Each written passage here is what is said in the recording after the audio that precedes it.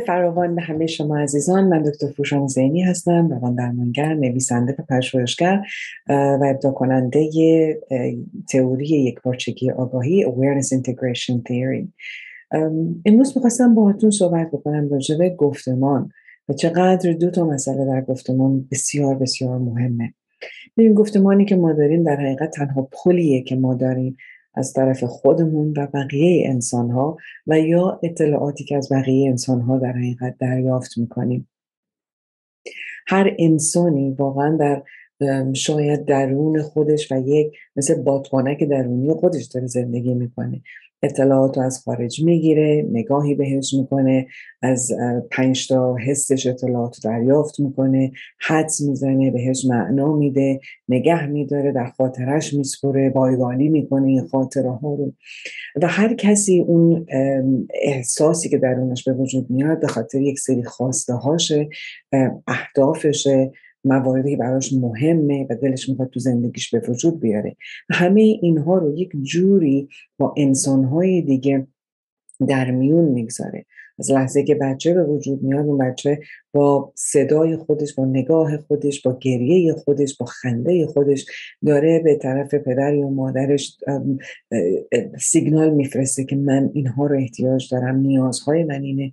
و اون پدر یا مادر کسانی که بچه رو دارن نگه میدارن با رفتارشون دارن به بچه نشون میدن که پیامی که تو داری میری و ما میشنویم یا می‌شناسیم یا به کمک تو میان یا اینی که با بچه دارن یاد میدن که این کار خوبه این کار بده این کار اضافه بکن بیشتر انجام بده یکی کار اصلا انجام نده به خاطر اینکه پیامدهایی به خصوصی داره در اینجا ما یاد می‌گیریم با گفتمانمون چطوری در قسمت های مختلف زندگی و رول های متعددی که تو زندگی بازی می‌کنیم حرف بزنیم و این پل ارتباطی رو در حقیقت به وجود بیاریم.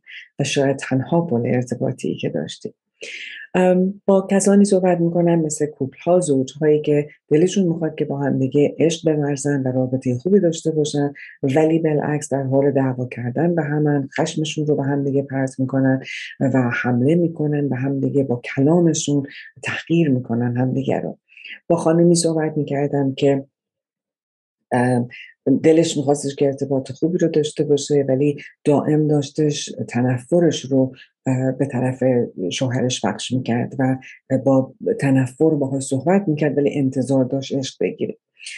با آقای صحبت می‌کردم که فروشنده بودن و سعی می‌کرد که به مدل های مختلف یک جنسی رو به یک نفری بفروشه و حضور نداشت به که اون شخص نمی‌خواد بخره و بالاخره اعضا به طرف خورد کرده اون شخص رفت. با یک نوجوانی صحبت می‌کردم که واقعا دلش میخواستش که بقیه نوجوان ها در مدرسه دوستش داشته باشن بهش توجه بکنن ولی جوری که داشت پرخاش می‌کرد و خودش رو می‌گرفت و جوری رفتار می‌کرد که مثلا خوشم نمیاد با شماها باشم. با خانم صحبت می‌کردم که دلش می‌خواست یه یاری پیدا بکنه ازدواج بکنه ولی رفتارش جوری بودش که انگار من خیلی خیلی بالا هستم و کسی سراغ من نمیاد. چون خیلی موقع ها می‌بینیم که نیت ما خواسته ما با مدل برخورد ما طریق گفتار ما به هیچ عنوان جور در نمیاد. چون کلام ما 20 درصد از مسائل نشون میده.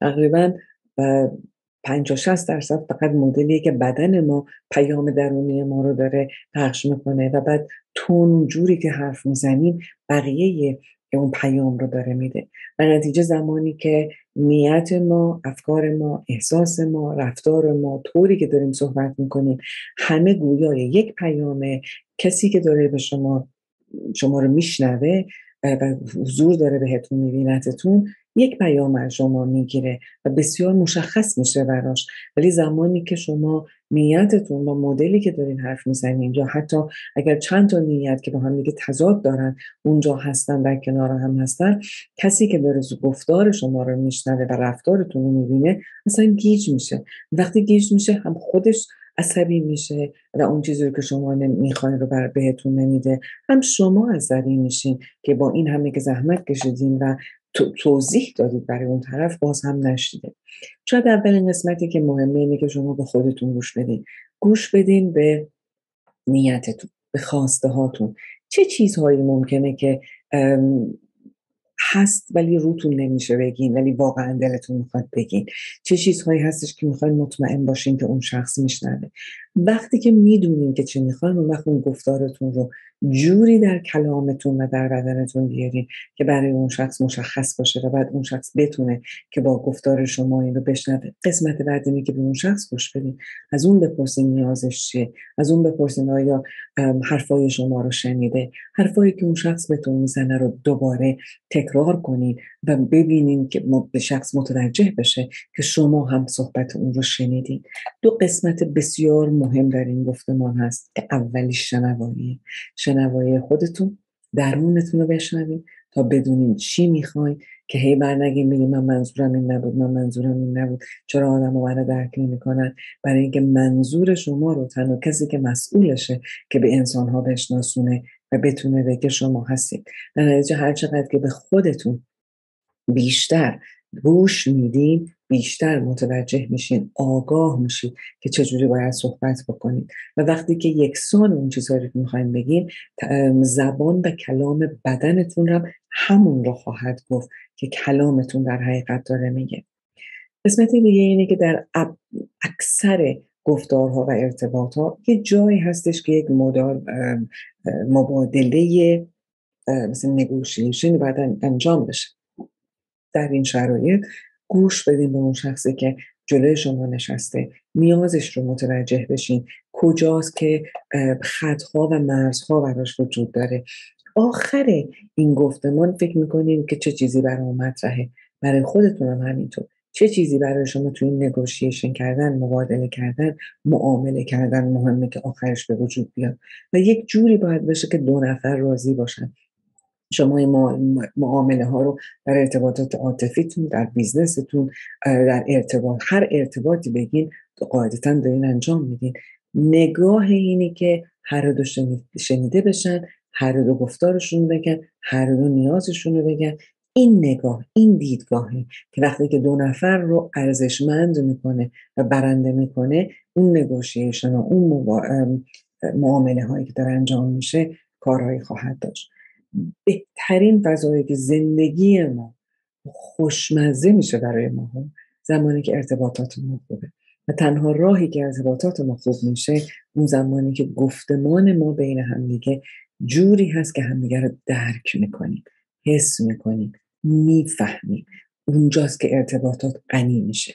پس برای درک کردن فهمیدن چه چیزهایی احتیاجه؟ اینه که مشخص باشه حرفتون. پیامتون چجوری دارین صحبت می‌کنید شفافیتی که دارین به کار می‌برید شنوایی قوی داشته باشید و برای اون شخص بگید که چی شنیدید با احساستون با قلبتون بشنوید اون شخص رو اهداف اون شخص رو نیازهای شخص رو بشنوید و بهش بگید که دارین میشنوید. خودتون رو بشنوید و نیازهای خودتون مطرح کنید. درست با احترام. به همدیگه و نیازهای همدیگه. اگه قراره که برای هم کوتاه بیاین معامله بکنید انجام بدین. و آخرش همدیگه رو قدر بدونید این قدر دانستن آخر خیلی خیلی مهمه برای اینکه ارتباطات رو قوی می‌کنه بین همه شما عزیزان. ممنونم.